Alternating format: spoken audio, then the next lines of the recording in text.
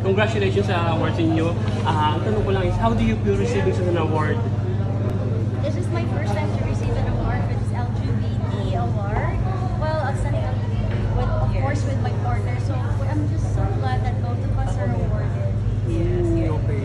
Receiving an award is a success for you to be able to continue your career. Sa mga ibang mga ano, aspiring na mga singer, ah, ano masasabi mo para magkaroon ng award ng gagalahin ito? Ang mga kalahi namin. Oh, yes. Oh, pwede, pwede. Di ba? Ah, for everyone, actually for everyone, a gift Okay. kasi you have the talent.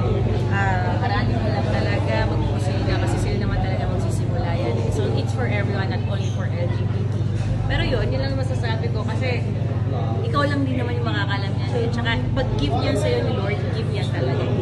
Mababawi ng kahit sino, kahit anong struggles o anong pagdaanan mo, nasa. Yes. Kumusta yung concert mo sa US? Oh, it was successful tour. So, US and Canada actually. So, kakarating lang namin. So, marami kaming napasaya ng mga kababayans natin.